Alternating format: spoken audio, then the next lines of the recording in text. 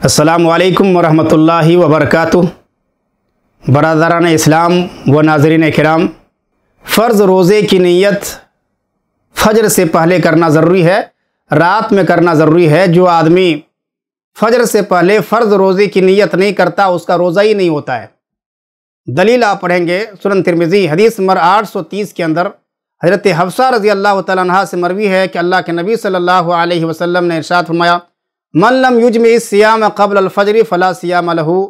जिस शख्स ने फ़र्ज़ रोज़े की नीयत फ़जर से पहले नहीं की तो उसका रोज़ा ही नहीं है। नीयत दिल के इरादे का नाम है।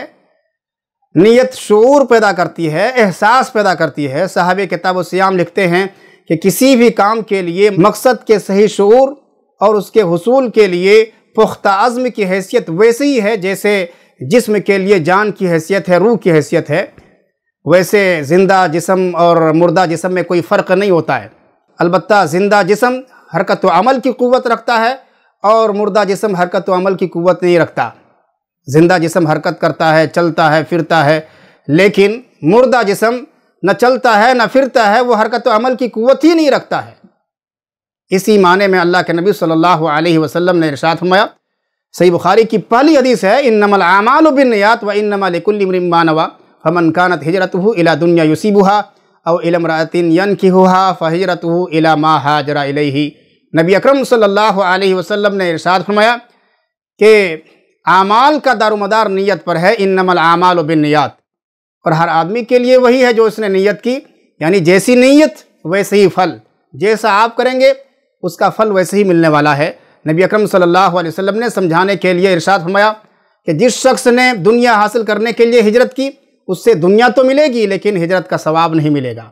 इसी तरह से जिस शख्स ने औरत से निकाह के लिए हिजरत किया, उससे औरत तो मिल सकती है, लेकिन हिजरत का सवाब नहीं मिल सकता। तो अल्लाह के नबी सल्लल्लाहु अलैहि वसल्लम ने इरशाद फरमाया इन नमल आमाल बिनियात आमाल का दारोमदार नीयत पर है। अगर आप अल्लाह ताला को राज़ी करने के लिए, अल्लाह ताला को खुश करने के लिए तकर्रब इलाही के लिए अगर आप नमाज़ कायम करते हैं, रोज़ा रखते हैं नफली इबादतों को कायम करते हैं, तरावी की नमाज़ पढ़ते हैं तो इन शज़ीज़ आपको अजर सवाब मिलेगा।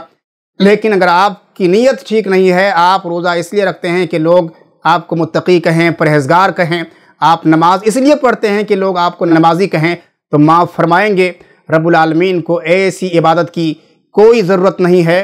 तो मैं ये कह रहा था कि रमज़ानमबारक के रोज़े की नीयत फजर से पहले ही करना ज़रूरी है और नीयत आप दिल में करेंगे। दिल के इरादे का नाम नीयत है।